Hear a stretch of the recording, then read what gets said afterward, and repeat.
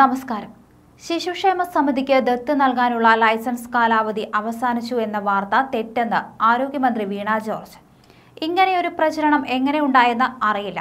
രണ്ടായിരത്തി പതിനഞ്ചിലെ കേന്ദ്ര നിയമം രണ്ടായിരത്തി പതിനേഴിലെ അഡോപ്ഷൻ റെഗുലേഷൻ നിയമം എന്നിവ അനുസരിച്ച് സമിതികൾക്ക് ഒരു ലൈസൻസ് മതി.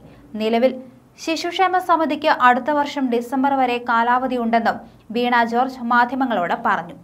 ദത്ത് വിവാദത്തിൽ കുഞ്ഞിന്റെ അവകാശത്തിനാണ് സർക്കാർ പ്രാഥമിക പരിഗണന നൽകുന്നതെന്ന് വീണ ജോർജ് പറഞ്ഞു. കുഞ്ഞിന്റെ ഡി സാമ്പിൾ ശേഖരിക്കുന്നത് ഉൾപ്പെടെ ചിത്രീകരിച്ചിട്ടുണ്ട്.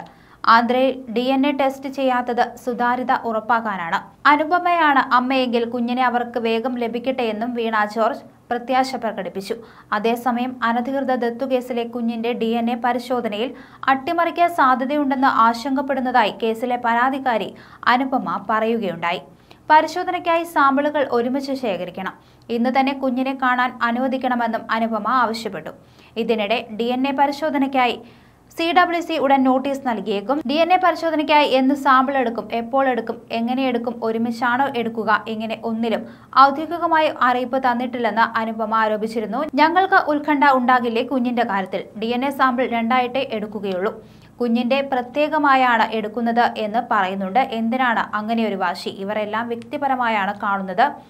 കോടതിയുടെ കാര്യമൊക്കെ പറയുന്നു. കുഞ്ഞിന്റെ കാര്യം പുതിയ കേസായി പരിഗണിച്ച് എന്ത് തീരുമാനവും സി ഡബ്ല്യു സിക്ക് എടുക്കാം എന്ന് നിർദ്ദേശം കൊടുത്തിരിക്കെ അവർക്കുള്ള അധികാരത്തിൽ പെരുമാറിക്കൂടെ? ഒരു മാധ്യമത്തോട് സംസാരിക്കവേ അനുപമ ചോദിച്ചു.